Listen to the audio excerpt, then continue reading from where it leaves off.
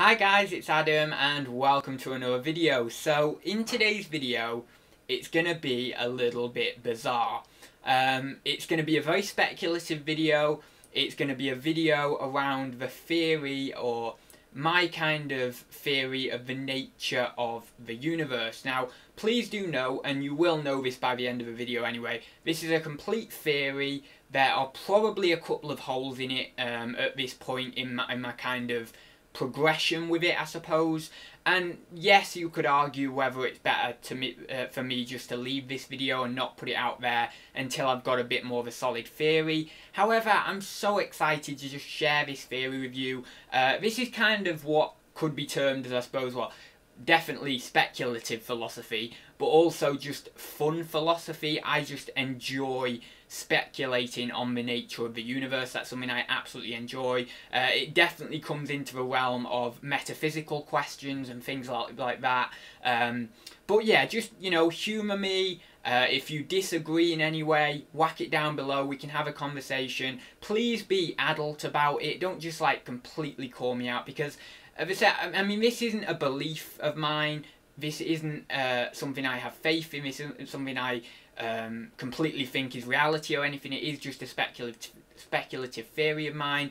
But I think it's nice to be respectful of that, um, just as you would be respectful, for example, if you were, um, I don't know, you know, if you were a Buddhist, let's say, you would be respectful of a Christian and their views, you know. So be respectful, but I don't mind people disagreeing with me and saying, well, this might not be completely correct, maybe you need to look at it in this way, etc. That's perfectly healthy, perfectly natural, and I invite it and I welcome it in. Um, and then obviously if you if you would like to just chat down below about some different theories you have, or maybe some of the positive aspects of what I'm going to be disclosing here with you, um, you can do that as well. But anyway, with that being said, let's get into this. So I've actually got it on, I've got a whiteboard up on this side of the green screen because I have, uh, I bought a whiteboard, I don't know, two or three months ago. It was actually for my other channel, my other YouTube channel, but I don't use it as much anymore. But it's got the actual theory um, on here. And it's what I call the eternal energy theory. Now, as we all know in science, energy can't be destroyed. It just changes state. So with that basis in mind, I kind of constructed this theory. So I don't know how plausible the theory of the Big Bang is in terms of within scientific communities. I'm guessing that it's probably the best theory, for the beginning of the universe that we have so far. But what I think happens, and I'm not sure about the first Big Bang, I'm not sure about that. Maybe maybe the universe manifested itself out of nothingness and the first big bang got created but then that energy because it can't be destroyed simply changes state and obviously is expanded. But let me start with a theory. So you have the big bang let's say and there's this huge mass of energy that's exploding out exploding out. As far as i i um as far as i understand it you know there's this huge explosion bigger than anything you could ever imagine and this energy expands outward and essentially the universe gets created in that way. And at first it's you know it's all chaotic and it's crazy and there's rocks all here and there and there's gas well at first probably gases but then like rocks and things like that and then planets start to form and stars start to form etc etc Obviously, a scientist could put it in a lot more elegant way than I can. Obviously, um, they could be able to actually track it a lot better as well and say, well, this appeared first, then this appeared first, etc. But that isn't like really relevant to this theory. So, first off, I want to like kind of associate it to something we do in normal life, right? Because this comes along it comes along with, alongside the theory of the microcosm and the macrocosm, which was like Socrates and Plato's theory of how the individual or the, the microorganism is in harmony with the macroorganism, which is essentially the universe, which I believe Plato, I don't know whether this was his complete faith or complete understanding, but he did put in this theory that uh, the universe could be considered like an intelligent organism. So essentially, and if we are a part of the universe, which we are, obviously, we're inside it and we've come out of it essentially. Um, but if we are a part of the universe, then we're going to replicate the process in which the universe is gonna is gonna follow. So this is where the basis from this theory comes from as well, a little bit of that. And I know that microcosm and macrocosm aren't necessarily like really rec- recognized at the moment in philosophy or not many people actually cover them anymore. I don't know why this is. It seemed throughout like um, for a ver- for a very long time between the time of Plato and Plato and Socrates up until uh, I think it was like 16th, 17th century, something like that. They just simply weren't recognised, and I think maybe over the past hundred years or so, they've not been recognised as much. But I really do think that Plato and Socrates did have something here, um, and I think it was Plato that must have wrote it because um, I don't think so- Socrates actually wrote down any of his theories and stuff. So I think it was Plato who wrote it and maybe built on it a little bit. But essentially, imagine that you're you're a bundle of energy, right? And I might I might end up looking at the board every now and then because I need to refresh myself because I've not got it. Uh, I know the theory of it, but I'm not. You know, it, it can be quite complex in in your mind, so I might need to look at the board a little bit. But essentially, you feel like a bundle of energy. So what you want to do, you really feel in the mood for some exercise, right? You know, you're you're, on this particular day for whatever reason, you're a bundle of energy and you want to do some exercise. So what you decide to do is you decide to go to the gym. So then you're at the gym and uh, maybe you decide to do an hour session. And for the first half an hour, something like that, 20 minutes, half an hour, whatever, it's brilliant, absolutely brilliant. You're powering it, you're here, there, and everywhere, going on different machines, you're doing the weights, you feel brilliant. You absolutely feel brilliant. You're really utilizing that energy that you wanted to utilize. But then, slowly over the course of, let's say this is an hour's session, slowly over the course of that, maybe 40 minutes in, 45 minutes in, you start to slowly approach your maximum limit, the place of no return. You can't do any more. You start to slowly approach that, and as you're approaching it, you start to slow down naturally because you've simply not got the energy that you once had when uh, you were you first came to the gym essentially and that's completely natural of course that's this flow of energy essentially and then what happens is you get to the point of no return you get to your limit your max limit and then you say no that's me done for today you know, I've done a brilliant workout, it's been brilliant, but but that's me done for today. And what you do is you might take two minutes, five minutes, ten minutes, just to sit down for a minute before you go home. Uh, maybe you, I, I, don't know, maybe you chat to a couple of people in the gym for five minutes before you go home, something like that, but you just stopped. You're not doing any exercise, you're not expending any energy in that way anymore. You've just simply stopped once you've hit that limit. Then what happens is you decide to go home and maybe before you go home or maybe as you're walking home or whatever, maybe you're going home and train, something like that, maybe you've picked something up from the vending machine or I don't know, some sort of protein bar, some sort of juice or whatever. You start to, you, you have a drink, you replenish your energy as you're going home, right? And then you get home and you maybe have a rest uh, you maybe, I don't know, you maybe have uh, some more food or something like that, and then after a certain amount of time, you feel energized again and feel like you can do it all over again, right? And that is the flow of this energy essentially. So, this is really interesting because now let's look at let's look at the universe. So, we have this big bang like I've talked about.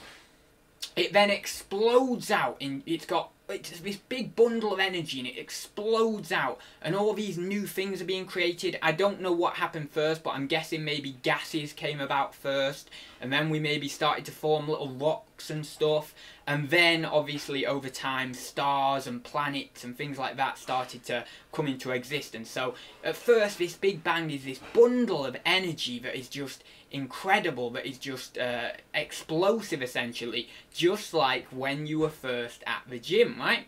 So this explosion explodes out and then obviously it gets to a certain point in which the energy of that initial explosion, that initial Big Bang, can't be utilized as effectively by the universe on its expanse because it's stretched all that energy out over billions of light years, let's say, right? So then it stretches that out completely, right? And then it gets closer and closer to its limit. And as it's getting closer, and this happens over billions and billions of years, of course, because uh, obviously now we're, what, 14.3 billion years into the universe.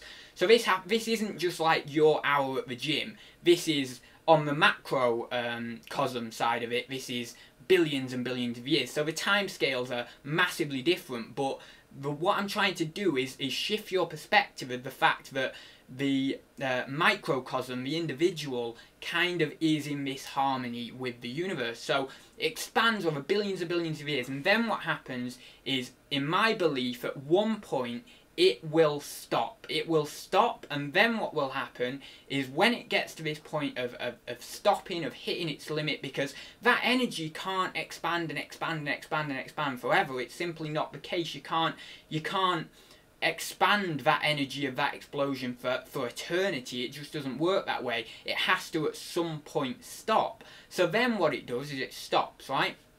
And then this is like when you hit your limit at the gym. You've not got any energy left just as that explosion, there's no energy left from that original explosion for the universe to keep expanding, right? So, what it does is it stops, it has a break for a bit maybe, it just stops as it is, and then, because energy likes to change and it likes to reform and it likes to reshape, um, I don't know why this is, but this is the nature of the universe. It's like our energies are always changing. For example, our cells are always changing, replicating, you know, renewing, that sort of stuff. And then obviously the ultimate change, I suppose, for an organism is death.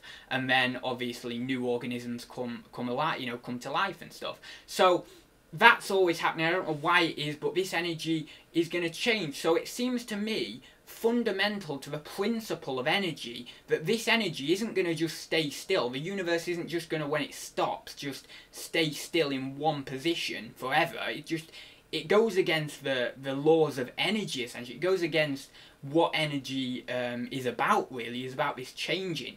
So, but but you see.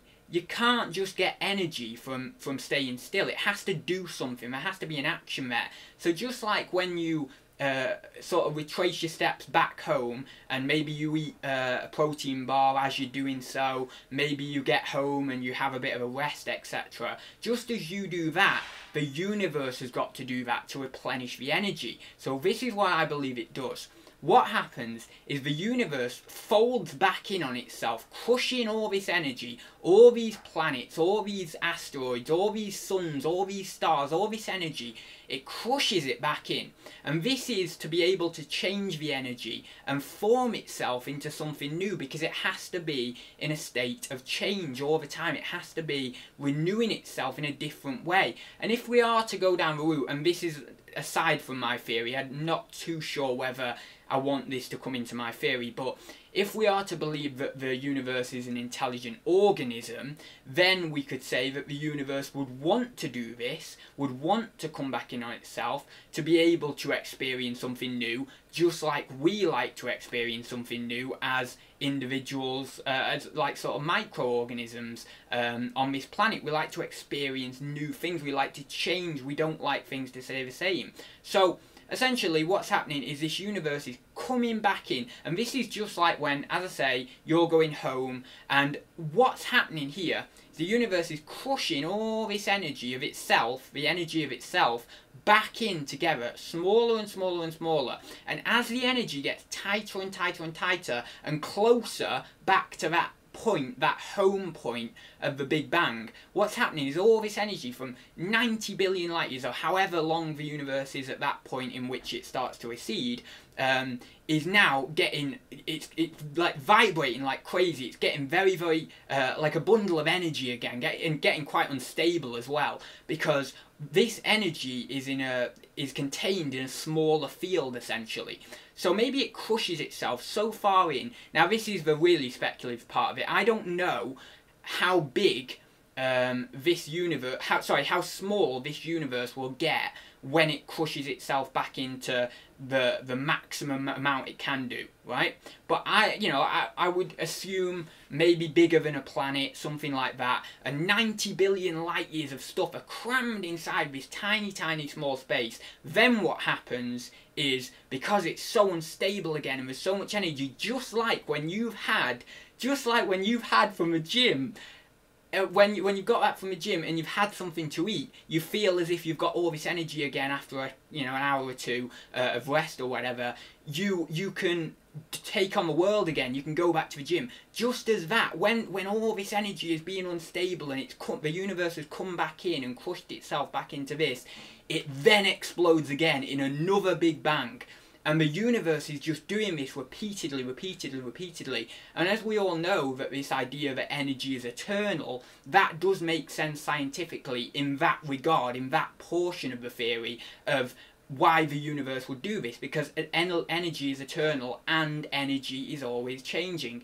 So in that way, what the universe does is when it like expands out again in another big bang, it can form new planets and new uh, and new stars and stuff and view itself in a different way. And again, this comes back to a little bit of my influence uh, by Alan Watts, of course, with him saying about the, the universe being essentially um, a view of itself and things like that in the form of the micro microcosm or the microorganism. You know, essentially what it can do, the universe in this way, when it expands, is it can experience new planets. So, you know, maybe 5 billion years, 10 billion years into the universal expansion, new uh, life can come about from different planets in which it's always changing. So we essentially could be one life form of this specific universe and we might last in this universe a few more billion years until the universe crushes itself back in and then creates itself again and then in another 5 billion years after that after that next creation of it well it's not really a creation but next transformation of the universe new life could reside in a similar sort of space to this, I suppose, um, in in regards to space in the universe. Um, a similar sort of space on this on uh, maybe even a similar planet to this, but different. So, like, uh, it could be different physiolog, uh, physiolog. I can't say that word.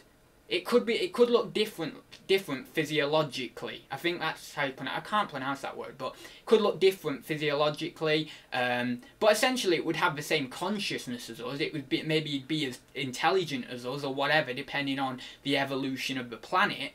But you see how this works, and you see how this ties in with the macroorganism, as we being a part of the universe, as we being a tiny, small part of the universe, but if we are to believe that we are an intrinsic part of the universe, we are that, then we must um, operate in the same way as the wider universe operates because essentially it's just one part of, of the same process in one way as I talked about in my polar thinking video with the analogy of the being at one with, with our environment and stuff like that. So yeah, that's the theory. So essentially, uh, just to very, very quickly recap, I won't spend too much time recapping, um, but essentially I've got it on the board here. So energy, slow down, hit your limit, then you stop, then you go home, or the meanwhile, maybe while you're going home, you eat something to replenish that energy, um, and then you get back to a state of being a bundle of energy again. Just as in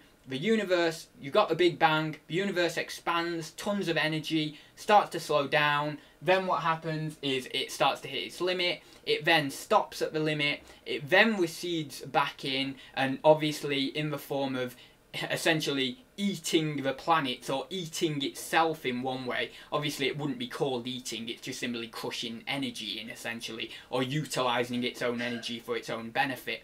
Um, but then crushing itself back in, then going home in the form of going back to that state of the Big Bang, so it goes back home. Then it may uh, rest, it might rest for a period while all this energy is, is being very, very unstable, and then after another period, don't know, obviously timescales on this, that's for mathematicians or scientists. I'm a philosopher, I'm, I'm abstract, I don't do timescales and stuff. But um, after a certain time uh, scale, it then boom again, and that's the universe.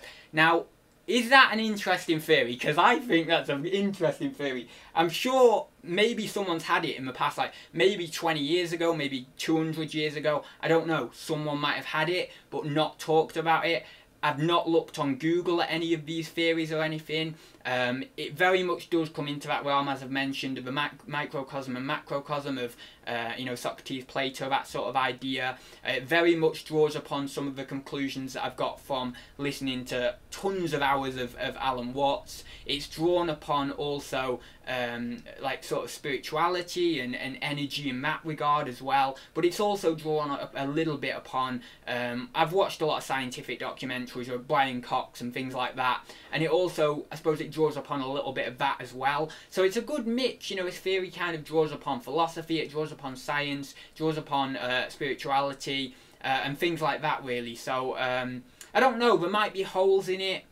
I mean, the one major hole for me I would like to point out is where did the big like the first big bang where did that come from it doesn't necessarily solve that uh, we could of course just say it came out of nothingness or something but it, I, I I feel like there might.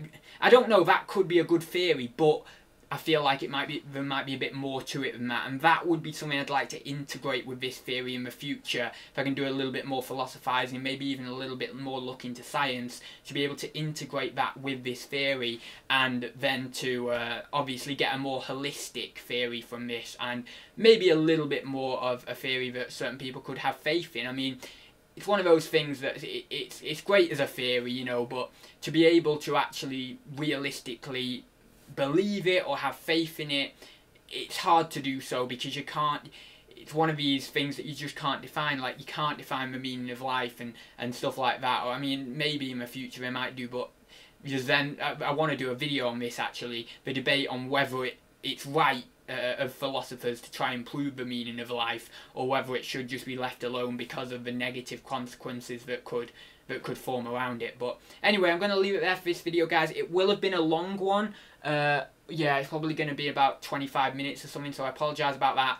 You probably knew that I had a lot of passion for that theory, because it. I just love, I love uh, this realm of, of, I suppose it's metaphysics, but just identifying the nature of the universe and seeing how that could could work and stuff and it's very um, exciting for me because I suppose it's fantasy in a way.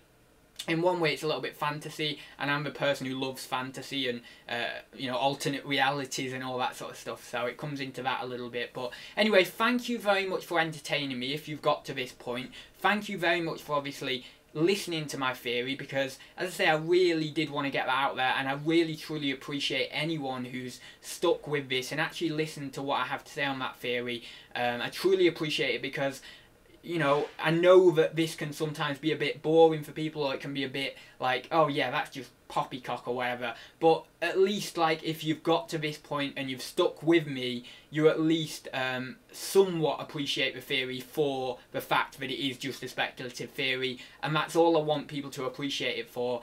And uh, so I'm really happy that if anyone's got to this point, um, you know, they've, they've at least listened to it a little bit. So, with that being said, drop any comments down below on your ideas with this. Is it something that is, um, uh, you know, could be a valid theory? Is it something that we could integrate with science?